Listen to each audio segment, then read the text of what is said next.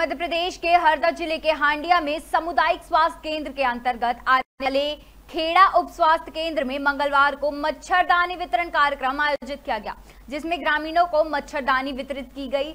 इस संबंध में इंदु बड़ोदिया ने बताया कि शासन द्वारा खेड़ा के सब सेंटर पर आयोजित मच्छरदानी वितरण कार्यक्रम से पात्र परिवारों को मच्छर से बचाव के लिए मच्छरदानी का वितरण किया गया।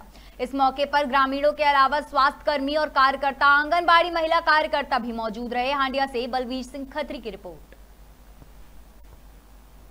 बाघ जनित रोग नियंत्रण कार्यक्रम अंतर्गत 2015 में जो हमारे मलेरिया प्रभावित ग्राम थे उनमें हमने 2018-19 में आ, आ, मलेरिया से बचाव के लिए शासन स्तर से मच्छरदानी का कीटनाशी मच्छरदानी का वितरण किया गया था।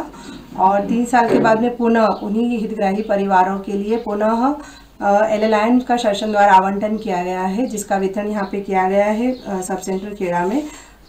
सुबह से अभी तक हम लोगों ने पात्र 130 परिवारों को मत्स्यदानी का वितरण किया है और वितरण अभी जारी है।